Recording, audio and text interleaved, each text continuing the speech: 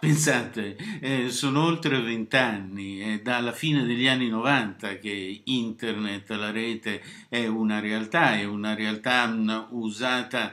in tutto il mondo tecnologicamente evoluto. Naturalmente l'Italia è uno dei fanalini di coda, è stata scoperta abbastanza recentemente, si è cominciata ad usare abbastanza recentemente e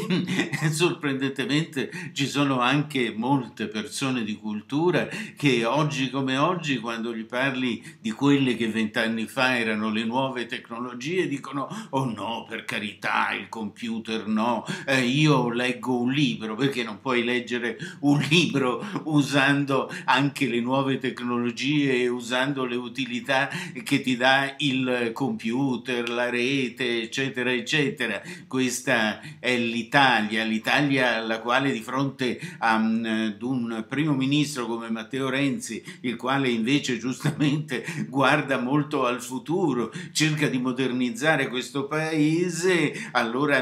per salire sul carro del vincitore dice di sapere tutto e di più sull'argomento, secondo la vecchia logica, il vecchio adagio italiano, che chissà fa, ma chi non sa insegna e quanti insegnanti stanno spuntando a destra e a manca.